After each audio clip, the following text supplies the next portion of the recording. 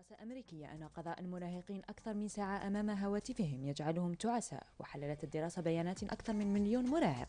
حيث ربط الباحثون بين الشعور بالرضا وعدم استخدام الهواتف. وكانت النتيجة أن المراهقين الذين أمضوا وقتا أطول أمام الشاشة كانوا أقل سعادة. بينما المراهقون الأكثر سعادة هم من أمضوا وقتا في قيام بأنشطة أخرى كممارسة الرياضة والقراءة وقضاء الوقت مع الأصدقاء. وبحسب الدراسة فإن عدم قضاء أكثر من ساعتين في استخدام الهواتف الذكية قد يؤدي إلى إصابة الإنسان بالتوتر والقلق خاصة قبل النوم. كما أنه يؤثر على عقل الإنسان وجسده. إضافة إلى حدوث صداع وآلام في العضلات.